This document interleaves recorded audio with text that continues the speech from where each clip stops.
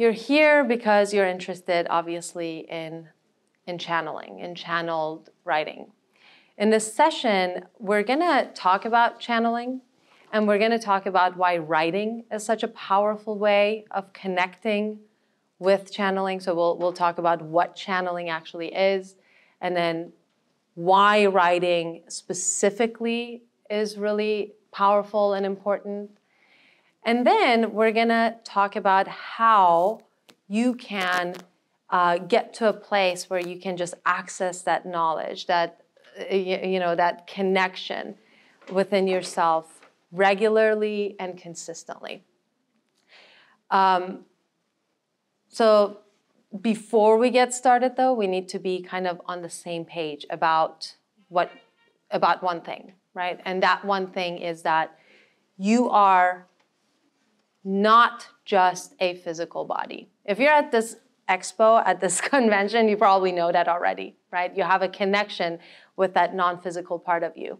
But without that agreement, channeling really makes no sense at all.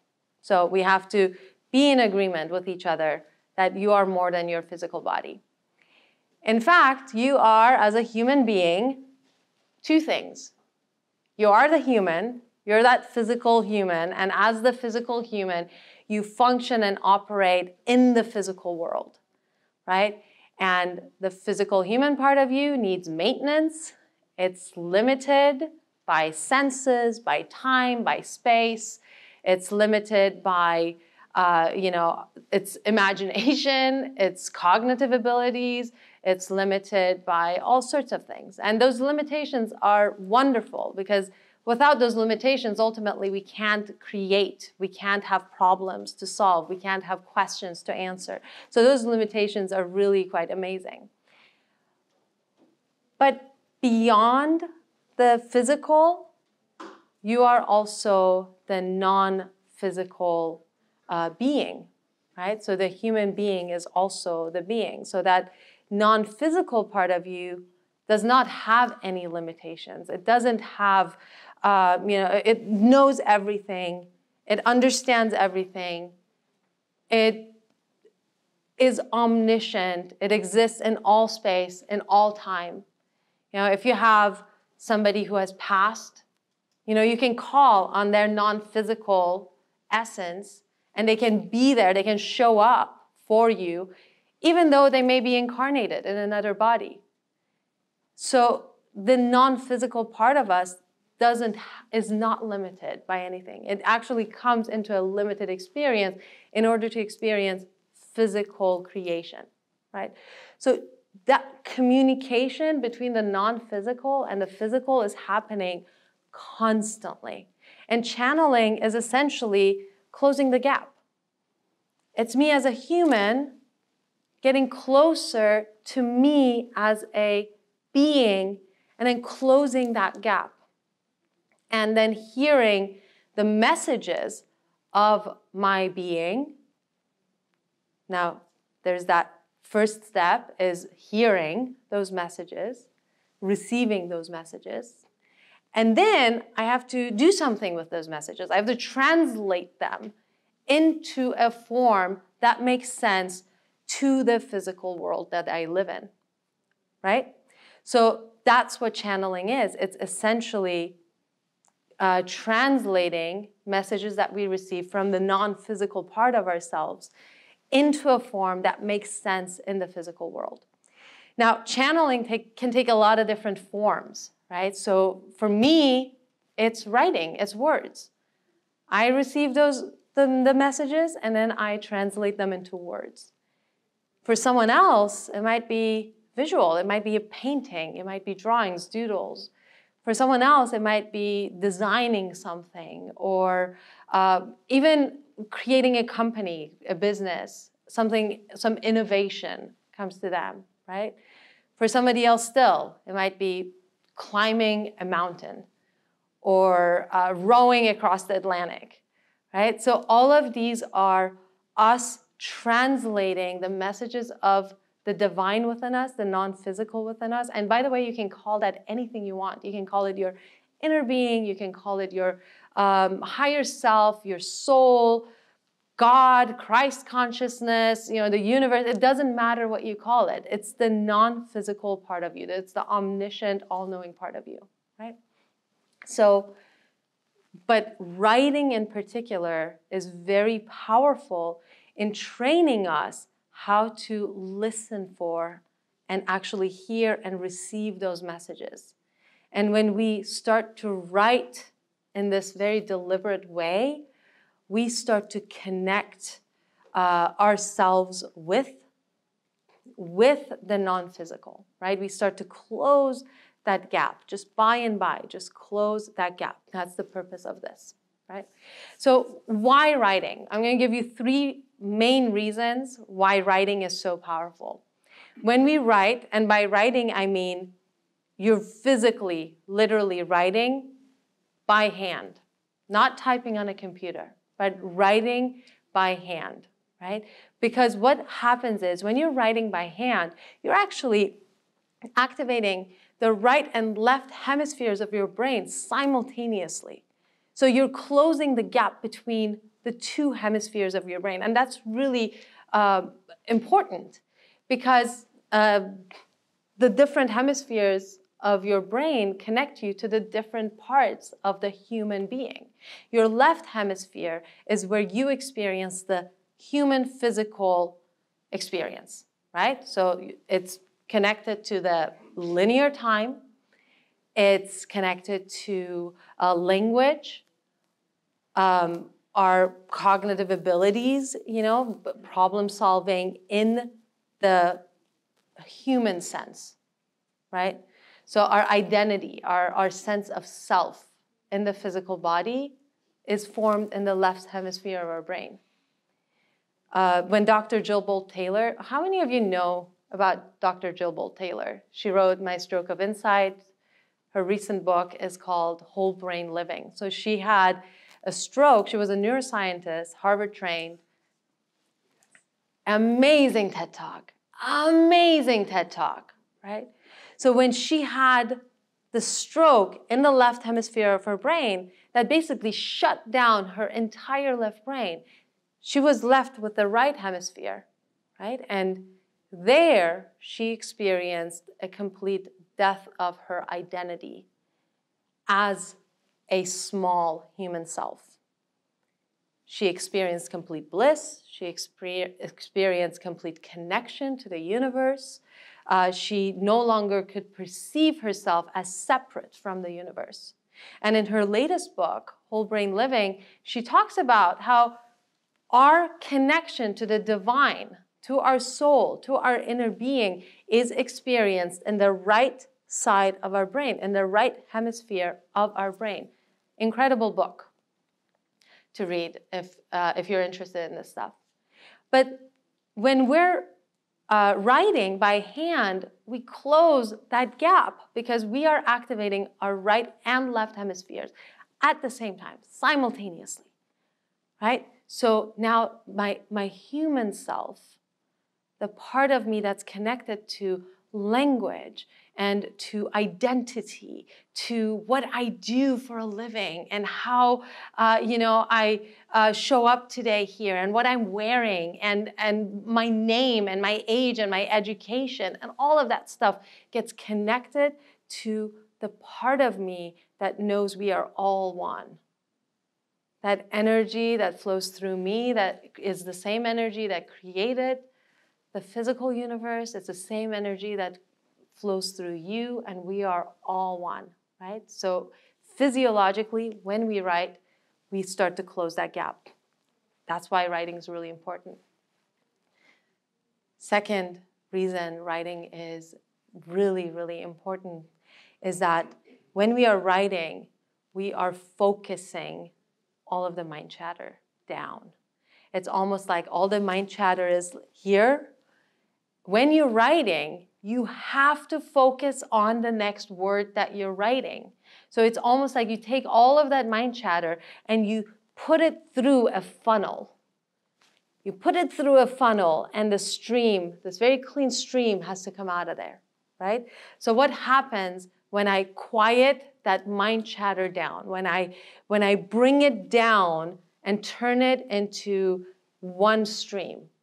Focus it down. What happens there is my brain waves start to move from high beta waves that are associated with that mind chatter, with the stress, right? The high beta. We don't we don't want to be there. There's a lot of anxiety, there's a lot of stress, there's a lot of runaway thoughts that we can't control. So I start slowing my brain waves down into low beta, into alpha waves, and eventually into theta waves.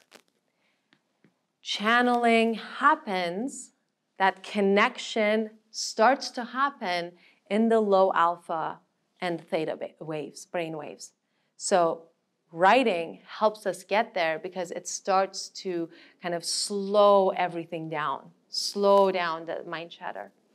The third thing that writing does, especially if I am stuck in thought patterns that are keeping me from being able to channel, right, uh, which are essentially negative thought patterns, things that, that are keeping me from feeling good, okay? So when I write, when I write by hand, I start labeling, right? I start labeling what's happening and what I'm feeling. And then this is journaling specifically. Why journaling is so powerful is because as I label, I'm able to release whatever is present, whatever is coming up, right? And that's Brene Brown talks about this in her book, um, uh, Daring Greatly, right? So, and she talks about it specifically with emotions related to shame and guilt. You know, when we start labeling things that are coming up, we take the power away from them and we're able to release them. Why is that important? That's important because as I do that, as I start to release those emotions and the thought patterns that are keeping me from feeling good, my physical vibration starts to rise. And as my physical vibration starts to rise, I start feeling better. I start experiencing better emotions. I start getting into a place of clarity, of connection, of hopefulness, of uh, maybe even happiness, bliss, joy. These are the emotions that we want to foster within ourselves if we want to connect with the non physical part of us. Because that non physical being part of the human being exists at this high vibrational, high frequency places. It, it is the energy of love, it's the energy of freedom. So if I want to uh, communicate with that part of me that is pure, infinite, unconditional energy of love, of freedom, of clarity, I have to get myself to that place. It's not going to come to me. I have to get myself to that place so I can hear it. Okay? So when we're channeling, when I am actively trying to listen to and receive these messages and translate them into a form that makes sense, I my ability to do that depends on my ability to kind of hear and identify the voice that is there, that's, that's coming. And that comes with time, it comes with connection, it comes with fostering uh, positive, uh, high vibrational emotions within myself, it comes with uh, tools that help me lower my brain waves into those alpha and theta brain waves. It comes uh, with uh, my uh, attempts at continually closing that gap within myself, doing things that, that help me do that. And, and in the how section of this talk, uh, I, I'll, I'll give you some tools that, that help me get to that place. Okay. But when I say, uh, I, I, I do want to give you an analogy here. It's like my, my boyfriend who's sitting right here, he's Mexican. Okay. And I have been learning Spanish on Duolingo. The app tells me I have about 800 words I've learned. But if he starts to tell me a story in Spanish, right, I will catch maybe one out of 10 words. And then I'll start kind of making up my own story based on what I think he meant. That's not unlike channeling. Our inner being, that non physical part of us, is continually, continually giving us knowledge, just constantly. That communication is constant. And I don't mean constant like, you know, um, you have a spouse or a girlfriend or boyfriend and you're like, oh, they're constantly messaging me. They're not constantly messaging you, right? Because unless it's every second of every single day, they're not constantly messaging you, which is how your inner being talks to you. It's constantly, constantly, constantly sending you messages. Okay? But your ability to receive depends on how close are you to those messages, right? It's like I can be standing downstairs and yelling messages at you, and you're up here, you're not gonna hear me, right? So I have to, you have to, if I'm selling, if I'm your inner being and I'm yelling, you have to physically come to my vicinity. So we have to physically go to the vicinity of that inner being, of the non physical part of us, in order to hear it. And then we have to train ourselves to actually hear those messages, to understand those messages. I have to go stand in front of him so I can hear what he's saying. I can't be like, you know, five houses down. And then I have to learn Spanish so I can understand, right? Now, our human self and the non physical, they, they talk to us in different ways. Okay, so humans, as the human self, we communicate in information. We share information. I'm constantly collecting information because I have all these limitations about me, right? Um, I'm, I'm filling in the gaps with pieces of information.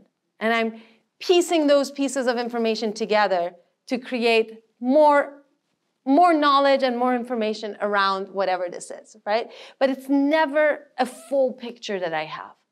I don't ever really have a full picture because I am limited by my senses. When we leave this room, all of us will have had different experiences, right? Because we're limited by our senses, which force us to create a hierarchy of, of information within ourselves based on what's important to us. Our inner being communicates in knowledge. It knows everything about everything in all space and all time. And it gives you everything about everything in all space and all time. It's like it comes to you, and I come to you and I give you this big giant block of gold. Right? It's, it's all the knowledge, all of the knowledge. Again, my ability to receive it I have to be in its proximity and I have to willingly receive it. But then I have to translate that block of gold into something that makes sense. So I might take that block of gold and make a big bulky necklace out of it.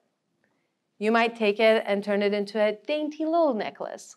Someone else might turn it into an earring or a bracelet or a ring. Someone else turns it into gold teeth or wires you give it to this guy, he turns it into a little robot. You know, so everyone, depending on our own individual preferences and what we have decided is important to us and interesting to us, will take that block and turn it into something that we can share with the world. Right? Something that makes sense to us, that, that lights us up, and, and all of those preferences come from all of the different pieces of information we've gathered and all the different cool ways we have put those pieces of information together for ourselves. That is the beauty of our diversity, right? So, because it creates this perfect system where all of us are receiving the same message, but we're creating billions upon billions of different forms of expression out of the same exact message. I mean, that's, that's beautiful, right? That's, that's beautiful. So, You receive that information and you turn it into something that is of value to you. It's, it's this process. That's essentially what channeling is. You receive information from the non physical part of you, and then you turn it into something that is of value and interest to you.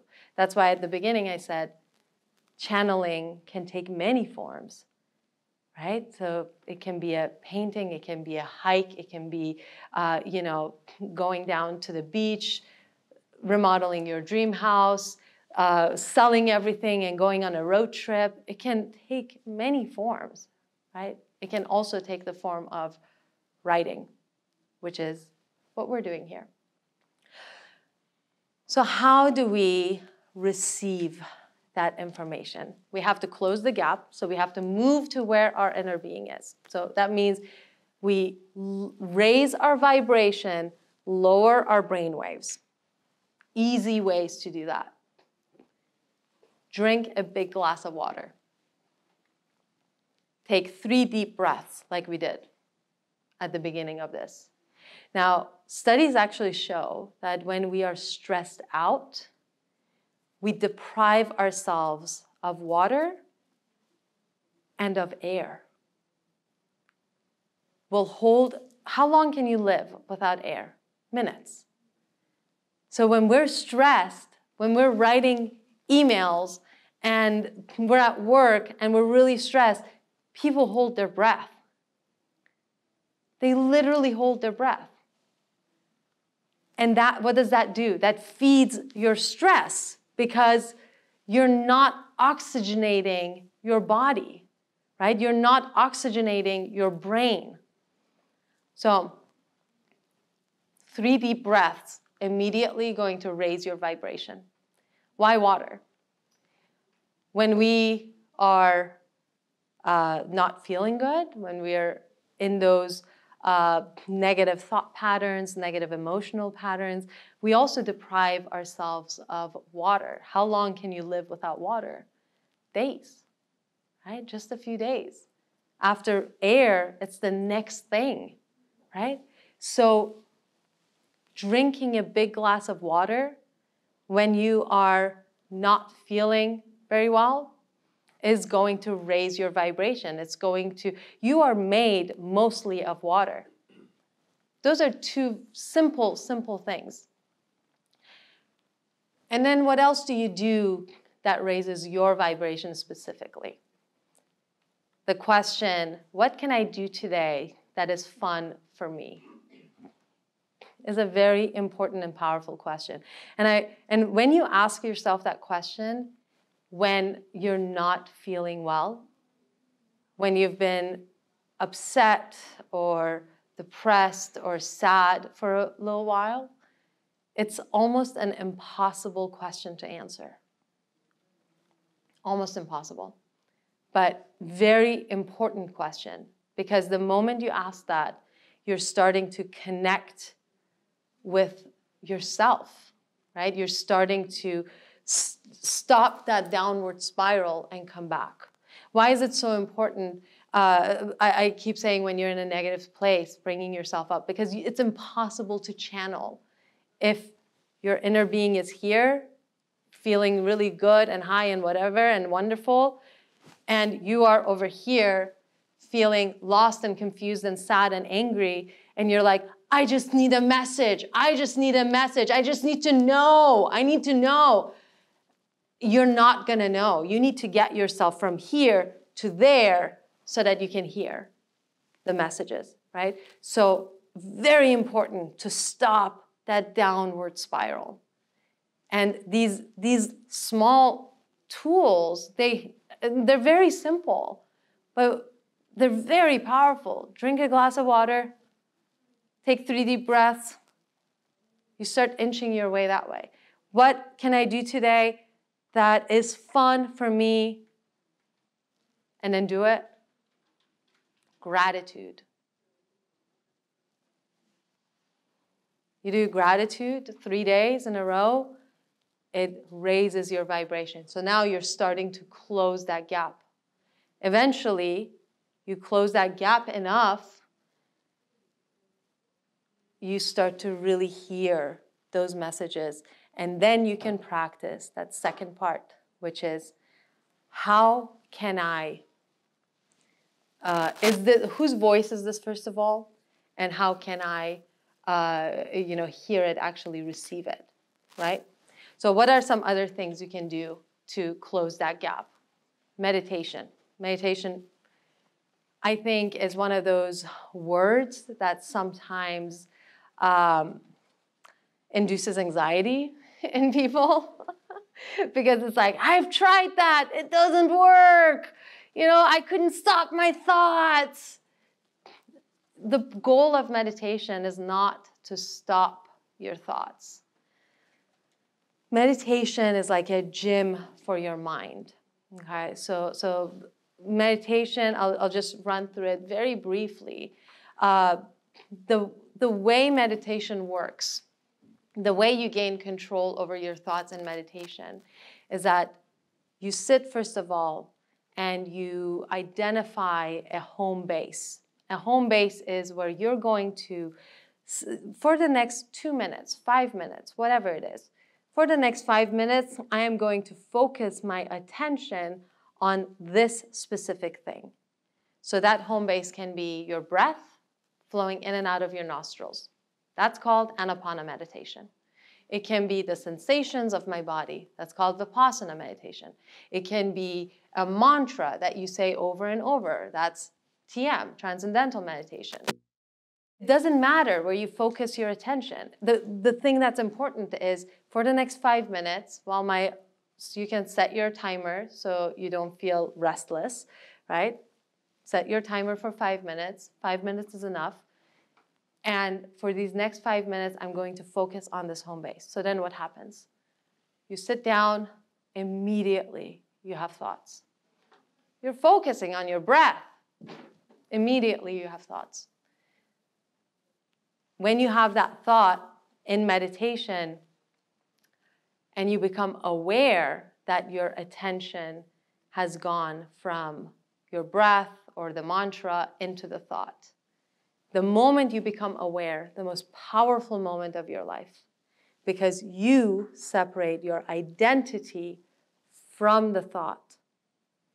You suddenly become the observer of the thought. You're the thinker of the thought. You are no longer identified with the thought as who you are. And then what happens in meditation?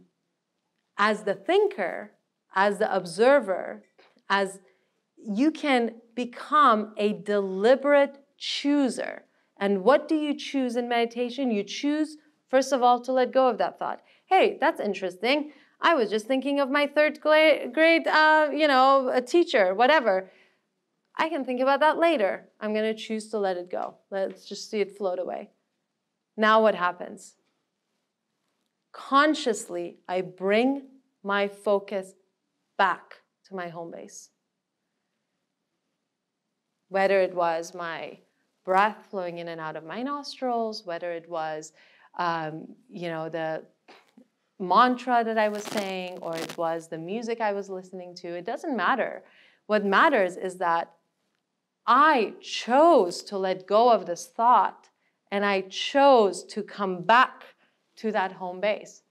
Powerful. This is ultimately the basis for deliberate creation right? When we create deliberately, we are choosing the thoughts that we want to think. This is when we create by default, the thoughts are choosing us. We're creating all the time, we're creating constantly. But when we create by default, we go down these rabbit holes of anxiety and fear. We could, because by default, whatever happens to be most active within us is what we end up creating, right? And what happens to be most active within most of us is what we fear, negative ideation, what could possibly go wrong, right? But in meditation, I'm training myself to become aware of the thought. I'm training myself to let go of the thought that I don't want to be thinking and I'm training myself to deliberately choose to bring my attention to a specific place. It's my choice, right? So now I can choose to prioritize thoughts that feel better. Someone cuts me off on the freeway, and I go down the rabbit hole of, what a jerk, you know, like everybody always cuts me off. It's like I'm invisible, like all the stories. Oh, wait, I'm that's interesting. My, my mind just went there. Uh, yeah, I'm feeling a lot of anxiety because of that. Uh, how else can I look at the situation? Can I let go of that story? Okay, I let go of that story. How can I look at the situation that makes me feel better? Well, maybe I don't know. He, his wife is in labor and he's trying to get to the uh, to the hospital. You know, like whatever it is, I close the gap. I close the gap. Very powerful meditation is. Um, our self talk is really important. So, when, if you want to channel, negative self talk becomes a hindrance. It becomes a hindrance. So, your words are powerful, whether they're directed at yourself or at other people. But if you're in the habit of beating yourself up, you know, why can't I do this? Why can't I do that? You know, you got to cut that out. You got to cut that out because every time you do that, you're opening the gap. You're creating more space, right? If you're gossiping, oh, did you hear what you know Julie said to Rebecca the other day? You're opening the gap. If you're have negative ideations about the future. Oh my gosh, I'm so gonna get fired. You know, I can't believe blah, blah, blah. Opening the gap. How else can I look at the situation? How else can I look at it that closes the gap, that doesn't open it, right? So you gotta cut out the stuff that get you away from your inner being and start doing things and prioritizing things that get you closer to your inner being. That's at the core of channeling, right? Because we have to get into the proximity in order to hear those messages. So you sit and you're in a good place. You've been practicing this stuff, you're feeling better and better all the time. Your friends are starting to hate you because you're happy all the time, you know, and and or they're like, "What are you doing?" And you're like, "I'm closing the gap. I'm closing the gap. I'm I'm trying to channel, so I need to feel good." You know? And then you sit down. So what's the what's the process of sitting down? Let's talk about the how of it. Okay, so you sit down, and first of all, I suggest start always with a big glass of water and three deep breaths. Easily, that'll bump your vibration up no matter where you are because you are caring about your body. You are caring about the physical you, right? And you are giving your body the resources that it absolutely needs. So you're giving it water and you're giving it air, oxygen, breath. Start with that. Then, uh, the next thing you want to do is raise your vibration even more, bump it up. Easiest way gratitude by far the most underrated, easiest way to just bump your vibration at any moment in time gratitude. Now, gratitude sometimes gets monotonous for people. They're like, oh, I, what else? Try to challenge yourself. You know, like, uh, I'm grateful for uh, this beautiful day. What about this beautiful day am I grateful for? I'm grateful that on this beautiful day, uh, I'm able to go out and walk in the sun. You know, what about that am I grateful for? Right? I, I'm grateful that I am able to walk.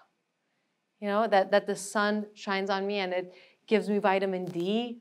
I don't know, maybe have to take vitamin D pills because I live in California. You know, like just challenge yourself. Just get into this habit of writing down and expressing gratitude for yourself, for other people, you know, connecting on that deep level. The gratitude is going to expand in your life everything that you appreciate. So you had your big glass of water, you took three deep breaths, you wrote down five things you're grateful for. And now what? Now you got to ground yourself. Come into your physical body. Grounding basically just means coming into the present moment, coming into the physical body. Just as you're breathing, notice your body, where it is, and not with the intention of needing to change anything. Your body, where you are, is perfect exactly. Just accept it in that moment, right? And then I like to say an intention. If there's a specific question that I have, I'll speak it at that point. If there's something specific that I'm looking for, I'll, I'll say it. And the thing is, once you say it, once you ask your question, don't keep asking it. Because in the next phase, you gotta listen. Right? So I'll, I'll say my question and then I'll set an intention for myself. And you can, whatever you believe in, if you believe in God, if you believe in angels, you can, if you believe in your guides, uh, whoever you believe in, you can, you can bring them into this process. You can say, Dear God, or dear, my dear angels, my guides. Um, if there's a specific person that you connect with, you can call on them.